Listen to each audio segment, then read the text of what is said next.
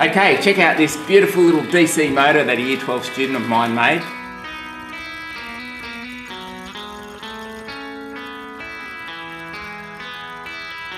Runs really quite nicely, but I made a suggestion to them instead of having instead of having two magnets stuck there like that, it might have been better to actually put the magnets on a radial magnetic field like this um, so that as the coil went by, it was nice and close to the magnetic field each time.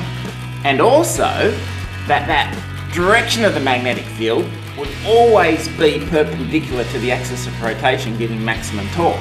Another student put their hand up and said, what about, sir, if instead of having the magnets attached to the um, bars here on the side, what about if you actually attach the magnet next to the coil?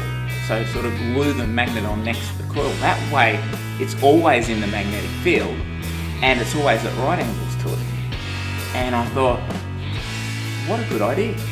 I think I'll give it a go. So, let's test his idea out.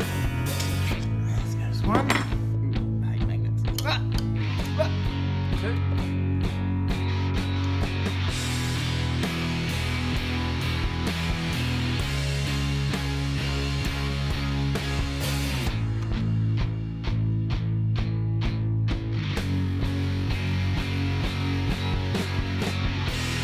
So I've done the modification. The magnets are now glued right next to the coil and so that current in the coil will experience, you know, a maximum force the whole time and uh, the force will always be at, at, the force will always be perpendicular to the axis of rotation. Let's give it a go. Three, two, one.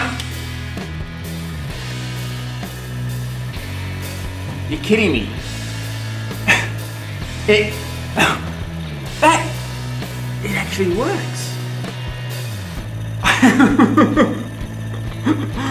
Woo! Check that out.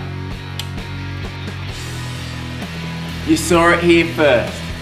Invented in Australia, the new motor, coming to a washing machine near you.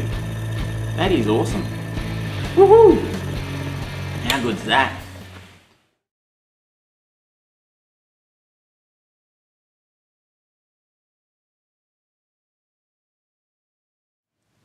Okay, alright. You smelling something a bit fishy? Yeah, it goes against the laws of physics, doesn't it? Let me show you something. You ready? Take the power off. There's a little motor. There's a little motor driving the motor. Unfortunately, it can't work. Yes, that magnetic field does exert a force on that coil, but Newton's third law explains why it can't really work. That, that magnet exerts a force down on the coil, that means the coil exerts a force up on the magnet. And that means the net force is actually zero, and so there'll be no acceleration. It's a little bit like trying to lift yourself up on a chair. You can like try and pull the chair up, but when you pull the chair up, the chair pulls you down. So even though someone like me might be able to bench press their own weight, um, even though I pull up on the chair, ah, as I pull up on the chair, the chair's pulling down on me, net force zero, not going anywhere. Sorry for pranking you.